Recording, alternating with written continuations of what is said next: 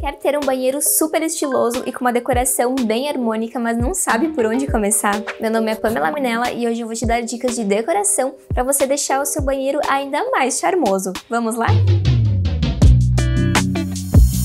Antes mesmo de começar a escolha de revestimento, acabamentos e dos móveis também, é importante que você entenda um pouquinho mais sobre os seus gostos. E nesse vídeo eu vou te mostrar seis ideias de banheiros diferentes para você conseguir escolher um aí para sua casa que funcionaria melhor com seus gostos e com o espaço disponível.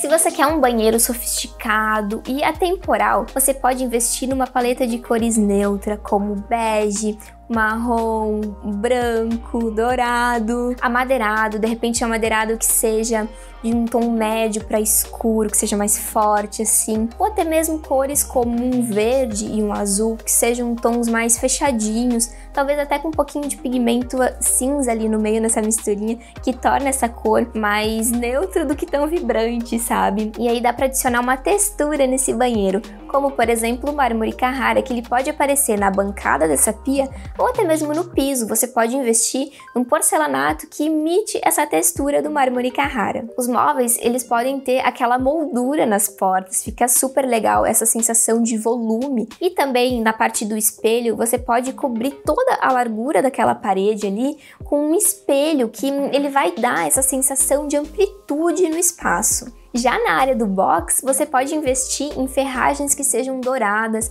A torneira da pia, ela também pode ser dourada, isso vai dar um ar assim super chique pro seu banheiro. É importante você avaliar qual o melhor tipo de abertura de porta de, do box do banheiro. Então você tem, por exemplo, a porta de correio que funciona muito bem em banheiros pequenos. Outra opção seria, por exemplo, a porta de giro, aquela porta de abrir tradicional. Ela funciona em banheiros muito pequenininhos que você não tem disponível aquela área para colocar duas folhas, né, duas portas de correr então você opta por um modelo de porta de giro. E aí, se você gosta de uma decoração mais moderna, você pode seguir com uma paleta de cores como branco, o cinza, o preto. Esse estilo prioriza as linhas retas, que vão aparecer desde metais, como torneira, e até mesmo na, no box, então nas ferragens, tudo mais retinho. E aqui fica muito legal você optar por um espelho redondo, talvez até mesmo com uma borda preta, ou até mesmo aquele espelho retangular com as bordas arredondadas. Se você gosta de uma decoração industrial, você pode investir em cores mais acinzentadas e metais. O cimento queimado também aparece aqui. E aí ele pode vir tanto nas paredes quanto no piso. E aí no piso existem porcelanatos que simulam essa textura. Importante te avisar que o ideal é escolher um porcelanato acetinado. Como o banheiro tem muita área molhada, e aí o porcelanato polido, aquele que tem reflexo, brilho, ele acaba se tornando escorregadio. Então não é recomendado para banheiros. Os metais e as ferragens pretas combinam muito com esse estilo, eles trazem contraste.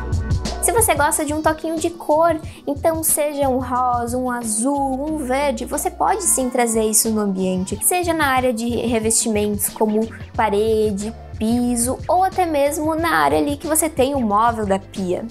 As cores e os revestimentos, eles têm que mostrar mais os seus gostos para que você se sinta mais em casa. E se você quer combinar mais de uma cor vibrante nesse banheiro, você pode usar o círculo cromático, que através dele você consegue fazer combinações mais leves, como cores que ficam lado a lado no círculo, ou se não cores mais contrastantes, mais fortes, tudo vai depender do seu objetivo. Eu expliquei um pouquinho mais nesse outro vídeo que está linkado aqui em cima. E se você gosta de uma decoração mais leve e monocromática, você pode usar apenas uma cor em todo o banheiro. Como, por exemplo, usar apenas o branco, que é uma cor super leve, né? Que deixa essa sensação até mesmo de amplitude em espaços menores. Ou usar apenas o cinza, tudo vai depender das cores que você gosta mais. E aí, seguindo essa linha mais simples para decoração desse ambiente, você pode usar aquele box que tem apenas uma folha. Ele traz essa sensação de amplitude no ambiente e opte pelo vidro incolor que ele também vai deixar o ambiente super clean. Caso a intenção seja incluir elementos naturais na decoração desse ambiente, você pode trazer a madeira seja para um móvel da pia ou até mesmo ela pode aparecer no piso. E aí no piso seria através da, do porcelanato que imita a textura da madeira e não pela madeira natural. Como o banheiro é uma área que tem muita umidade, você não teria uma boa durabilidade da madeira natural. O legal é que hoje já existem diversos modelos de porcelanatos que imitam a madeira desde tons mais clarinhos, tons frios, até tons médios, escuros quentes, enfim, tem para todos os gostos. E os metais e as ferragens, nesse caso, combina tanto modelos que sejam no prata como no preto.